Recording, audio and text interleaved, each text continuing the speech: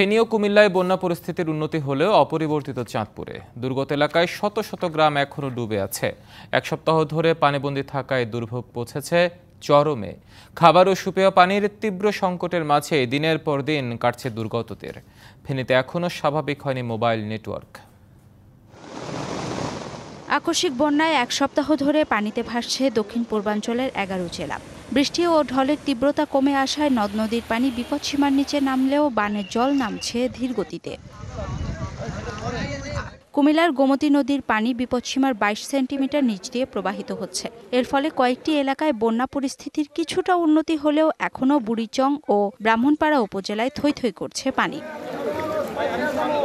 এছাড়াও চোদ্দগ্রাম লাকসাম নাঙ্গলকোট ও মনোহরগঞ্জ উপজেলায়ও ধীরে ধীরে নামছে বন্যার পানি। এখন অন্তত দশ লাখ মানুষ পানিবন্দী। নোয়াখালীতে মঙ্গলবার রাত থেকে বৃষ্টি নামছে।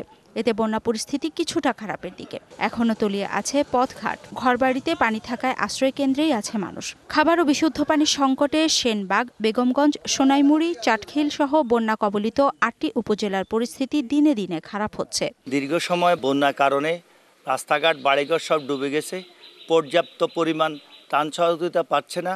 সরকার যদি আমাদেরকে কিছু ফেল করে বা কিছু সাহায্য করে সাহায্য করে তাহলে আমরা ফার্মুগই আড়াইশোটিরও বেশি ডিজাইন অপশন নিয়ে ওয়ালটন স্মার্ট ফ্রিজ বোঝে আপনার প্রয়োজন। ফেনীর পরশুরাম, ফুলগাজী, ছাগলনাইয়া উপজেলা সহ দুর্গত এলাকা থেকে পানি নামতে শুরু করেছে। বন্যার পানি নেমে যাওয়ায় ফুটে উঠছে ক্ষতচিহ্ন। তবে জেলার সড়কগুলো এখনও যানবাহন চলাচলের উপযোগী হয়ে ওঠেনি। এখনও পানিবন্দী, অন্তত আট লাখ মানুষ। দুর্গত এলাকায় দেখা দিয়েছে খাদ্য, বিশুদ্ধ পানি ও ওষুধ সংকট।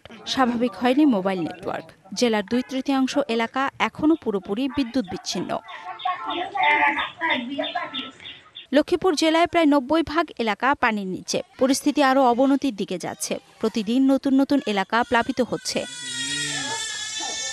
ঢাকা লক্ষ্মীপুর আঞ্চলিক সড়কে বন্যার পানি উঠে বন্ধ হয়ে গেছে ছোট ছোট যানবাহন চলাচল। বাস, ট্রাক সহ বড় বড় যানবাহনগুলো চলছে ঝুঁকি নিয়ে। দুর্গম এলাকাগুলোর ভিতরে প্রবেশ করতে পারছে না ত্রাণ সহায়তা। টানা দশ দিনের বৃষ্টিতে চাঁদপুরের ফরিদগঞ্জে সৃষ্ট জলাবদ্ধতার পানি কমতে শুরু করেছে। তবে এখনও পানিবন্দী রয়েছে হাজীগঞ্জ ও শাহরাস্তি উপজেলার শতাধিক গ্রামের মানুষ।